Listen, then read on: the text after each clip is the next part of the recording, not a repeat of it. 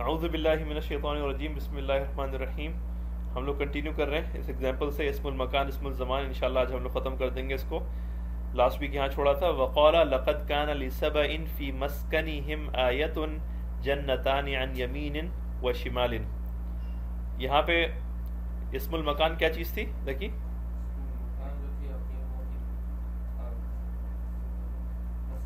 मस्कन मस्कन। मस्कन मतलब?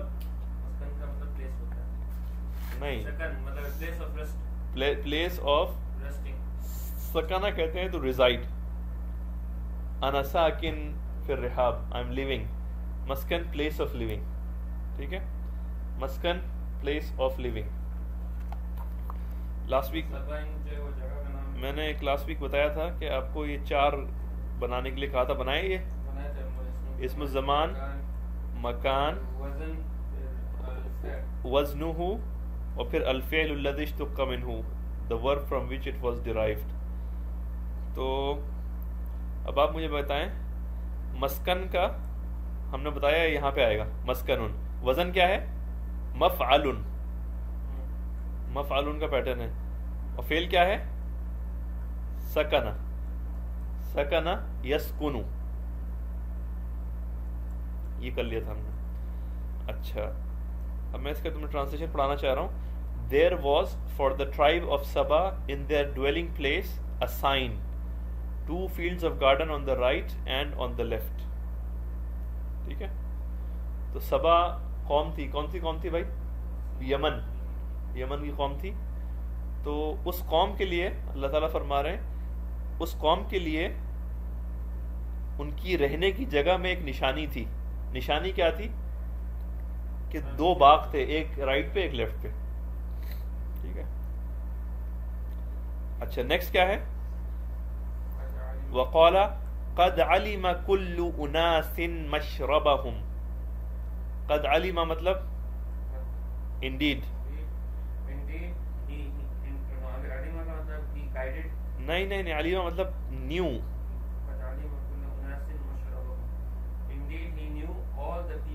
नहीं नहीं नहीं नहीं. ये एक स्ट्रक्चर है भाई. ईच पीपल उनास मतलब पीपल ईच पीपल या each group of people knew their place of drinking मशरब मतलब शरीबा मतलब ड्रैंक मशरब मतलब पेश प्लेस ऑफ़ ड्रिंकिंग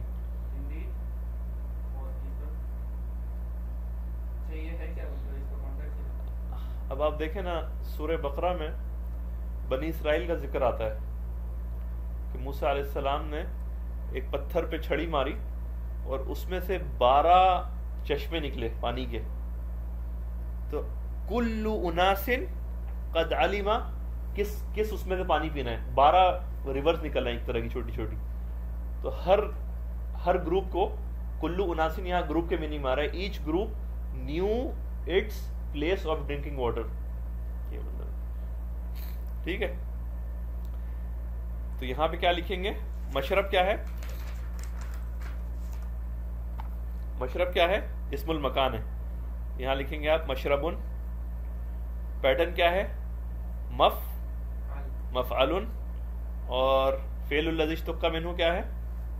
शरीबा। शरीबा यशरबू। ठीक है? अच्छा नेक्स्ट अलई सफी जहन्नम मसवन लिल काफिरीन।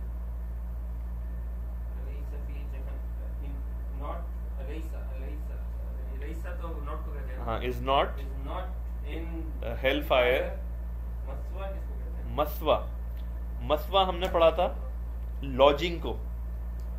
प्लेस ऑफ़ स्टेइंग ठिकाना। मसवा।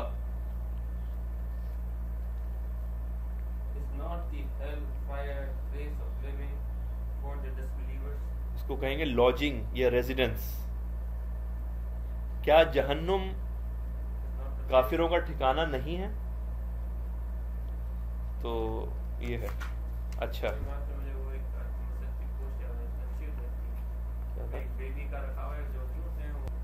हाँ भाई।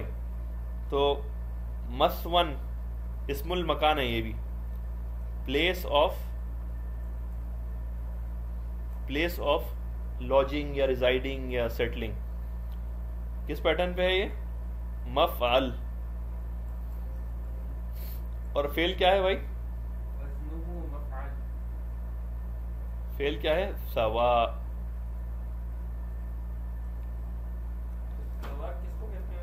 सवा मीन्स टू रिजाइड सकना की मीनिंग में, सकना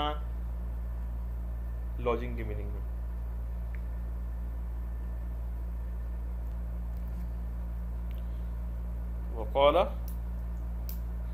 मा लकुम मिन मल यौम इदिन इसका ट्रांसलेशन है no refuge will you have that day यौम इदिन का ट्रांसलेशन क्या है? आ जाता है ना ऑन दैट डे लिख लो मीनिंग यौम इदिन का मतलब है दैट डे लिख दिया? मलजइन का मतलब है? रिफ्यूज मलजइन का मतलब है? यस रिफ्यूज का मतलब समझते हो? क्या मतलब होता है रिफ्यूज का? रिफ्यूजीज किसे बोलते हैं? कि यार वॉर चल रही है मुल्क में भागने पना लेने के लिए जा रहे हैं। पना तो क्या क्या है? कि कोई ठिकाना कोई रेफ्यूज की जगह नहीं मिलेगी उस दिन कयामत के दिन। बस आपका हिसाब होना ही होना है कोई भाग के छुप नहीं सकते।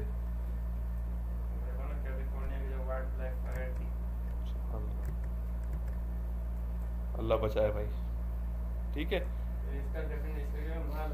अच्छा अब आ जाए। Let's let's come to the our ये। अच्छा। कौन सा होगा भाई ये? मलजा जो है मलजा उन जो है, इसमुल मकान है। मलजा उन। अग्रीड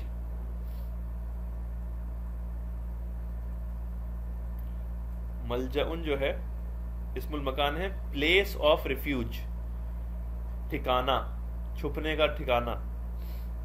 पैटर्न क्या है? मफ अल और अल्फेलिश तुक्का मिनू क्या है? लजा क्या है लजा लजा मतलब he took refuge he sought refuge लजा नेक्स्ट क्या है जकी लेट्स डू इट अन अबी हुरैरा रदियल्लाहु अन्हु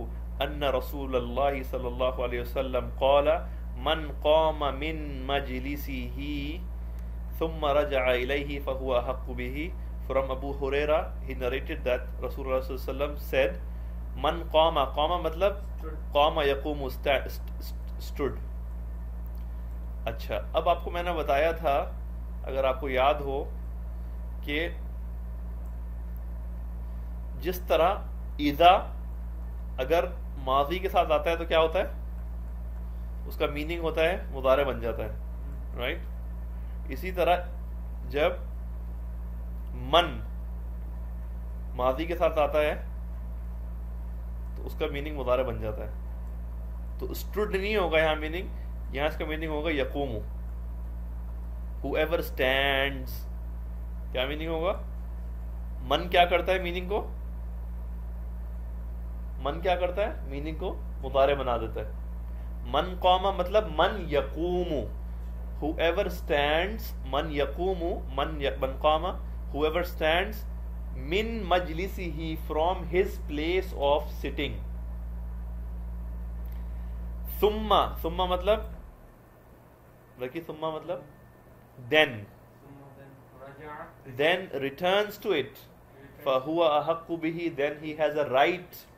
to that place मेरी जगह पे मेरा राइट है अगर मैं उठ के कहीं जाता हूँ वापस आता हूँ तो मेरी सीट रिजर्व्ड है अब ये नहीं पता लेकिन इस हदीस में ये माने हैं।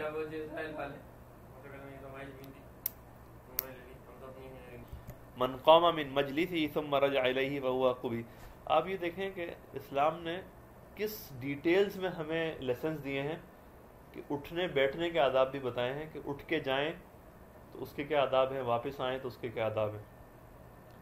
ठीक है नेक्स्ट है इस्तखरिज मा फि दरसी मिन अस्मा ज़मानी वल मकानी वज़कुर वज़न कुल्ली वाहिद मिनहा वल फ़िअल अल्लज़ी इश्तक़ मिनहु extract what is in the lesson of asma zaman and makan and mention the pattern of each one of it and the verb from which it was derived चलें देखिए शुरू हो जाएँ लेसन खोलें और उसमें से इसमुल मकान और इसमुल जमान ढूंढें और बिस्मिल्लाह नहीं लेसन सेवन करेंगे बस जल्दी से लिखवा दें।